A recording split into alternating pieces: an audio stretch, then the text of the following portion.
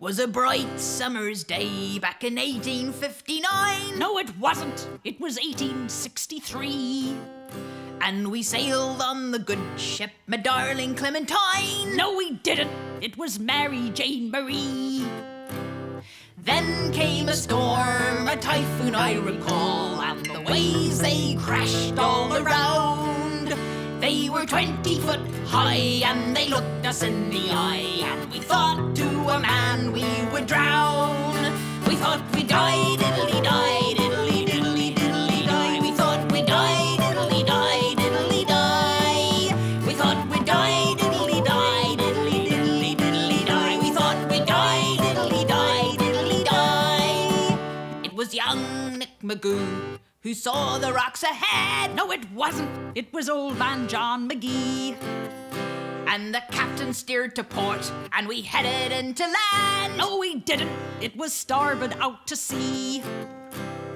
Then was a mighty crack, a terrible sickening sound, and the brave mast came a tumbling down. The salt had stung our eyes, abandoned ship we cried, and we thought to a man we would drown.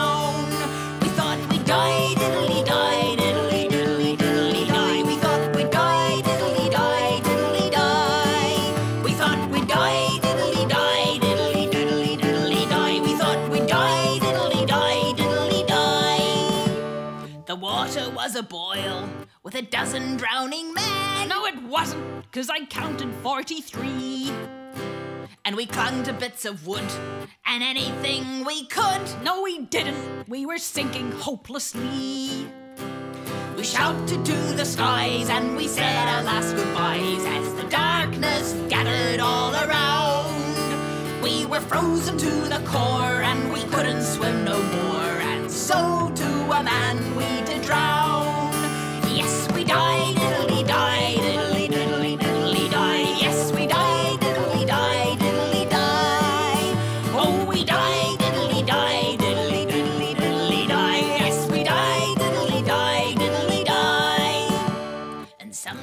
late at night, on the shores of Island Bay, if you listen, you will hear a ghostly sound.